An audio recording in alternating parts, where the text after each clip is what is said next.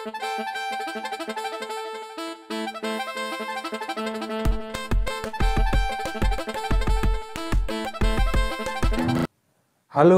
kembali lagi bersama saya Andi Antonius. Kali ini kita akan membahas mengenai topik pulp dari alang-alang. Tunggu, tunggu. Tapi kok pulp bisa dibuat dari alang-alang sih? Biasanya kan kertas itu dibuat dari kayu yang ditebang dari pohon. Lalu dihasilkanlah kertas. Tapi kok ini dari alang-alang sih? Tapi kita akan melihat hubungan alang-alang dengan Indonesia dan kertas yang digunakan Indonesia. Indonesia merupakan negara yang memiliki daratan yang luas. Walaupun luas negara Indonesia mencapai 1.904.569 km, tidak seluruh dari luas wilayah tersebut dimanfaatkan dengan ditanami dengan tanaman yang bermanfaat.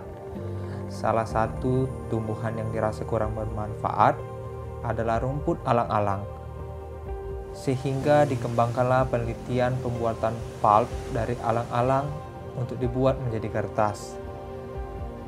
Kertas menjadi salah satu sarana komunikasi secara nonverbal dalam berbagai sektor kehidupan. Indonesia yang penduduknya berjumlah 235.656.363 menjadikan negara konsumtif dalam pemakaian jumlah kertas, sehingga negara berkembang kebutuhan informasi, serta hiburan berkembang pesat di Indonesia. Dalam segala usia, pemakaian kertas dipakai berdasarkan kebutuhan yang berbeda-beda. Maka dari itu, seiring dengan meningkatnya kebutuhan akan kertas, industri-industri pembuat kertas di Indonesia mengalami peningkatan, sehingga dimulailah penelitian membuat kertas dari alang-alang. Oke, alang-alang Alang-alang merupakan tanaman gulma yang jumlahnya cukup besar di Indonesia. Alang-alang atau ilalang ialah sejenis rumput berdaun tajam yang kerap menjadi gulma di lahan pertanian. Alang-alang menyebar secara alami mulai dari India hingga ke Asia Timur, Asia Tenggara, dan Australia. Kini, alang-alang juga ditemukan di Asia Utara, Eropa, Afrika, dan Amerika.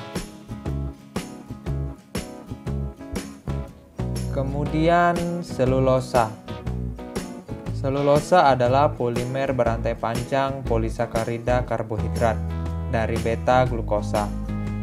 Selulosa merupakan komponen utama dalam pembuatan kertas. Selulosa adalah senyawa organik penyusun utama dinding sel dari tumbuhan. Adapun sifat dari selulosa adalah berbentuk senyawa berserat, mempunyai tegangan tarik yang tinggi tidak larut dalam air, dan pelarut organik. Kandungan kimia yang ada di dalam alang-alang pertama itu air sebesar 93,76%. Kemudian selulosa, selulosa ini dibagi menjadi tiga, yaitu alfa selulosa 40,22%, holoselulosa 59,62% dan hemiselulosa 18,4%. Lalu kandungan yang ada di alang-alang itu ekstraktif sebesar 8,09%. Lalu yang terakhir adalah lignin sebesar 31,29%. Lignin merupakan komponen yang harus dihilangkan agar sel-sel kayu dapat terurai Nilai kandungan lignin pada alang-alang ini sebesar 31,29%, termasuk kategori kelas sedang. Hal ini menunjukkan bahwa ditinjau dari segi kandungan ligninnya, alang-alang akan memerlukan bahan kimia pemasak yang sedang dalam industri pulp dan kertas. Kandungan lignin yang tinggi akan menghasilkan mutu atau kualitas pulp dan kertas yang kurang baik, karena lignin yang tinggi akan mempertinggi pemakaian bahan kimia sehingga tidak efisien dan memberikan sifat kaku pada produk pulp. Lalu pulp dari alang-alang itu mengalami proses acetosolve, yaitu penggunaan asam asetat sebagai pelarut organik dalam prosesnya. Kemudian keuntungan dari atau keunggulan dari proses acetosolve yang pertama bebas senyawa sulfur, 5 dapat didaur ulang. Kemudian kekuatan tarik pulp acetosolve setara dengan kekuatan tarik pulp craft. Bahan baku yang digunakan dalam proses ini ada tiga. Yang pertama, yang pastinya alang-alang, asam asetat, dan katalis HCl 1%. Peralatan yang digunakan, yang pertama itu jaket pemanas, labu tiga leher, pengaduk, motor pengaduk, kondensor, termometer, statif, dan oven karena uh, proses pembuatan ini masih secara sederhana di skala laboratorium dan penelitian-penelitian. Kemudian proses pembuatan pulp dari alang-alang. Itu diproses yang pertama alang-alang dipotong-potong, kemudian alang-alang dikeringkan, lalu dimasak dengan menggunakan larutan asam asetat dengan perbandingan 10 berbanding 1. Kemudian pulp alang-alang dipisahkan terlebih dahulu dari larutan pemasaknya, lalu dimasukkan ke dalam oven sehingga sampai kering.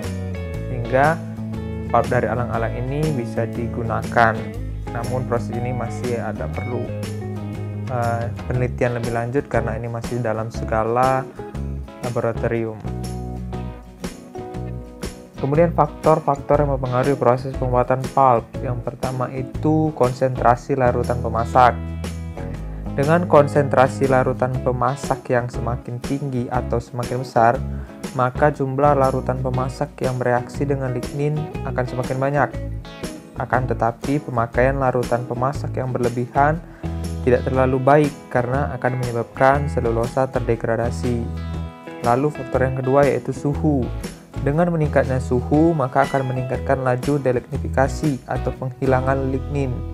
Namun, jika suhu di atas 160 derajat Celcius menyebabkan terjadinya degradasi selulosa. Kemudian faktor yang ketiga yaitu waktu pemasakan. Dengan semakin lamanya waktu pemasakan, akan menyebabkan reaksi hidrolisis lignin makin meningkat.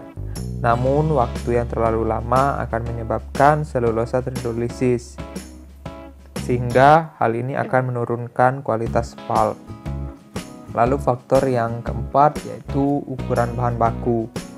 Ukuran bahan baku yang berbeda menyebabkan luas kontak antar bahan baku dengan larutan pemasak berbeda.